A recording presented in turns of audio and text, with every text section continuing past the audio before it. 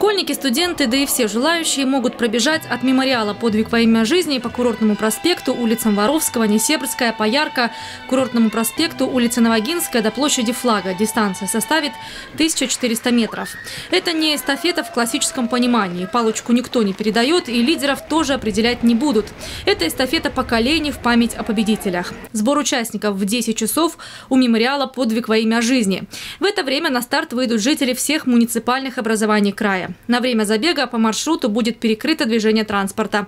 Машины не смогут проехать по вышеназванным улицам с 10.30 до 11.20.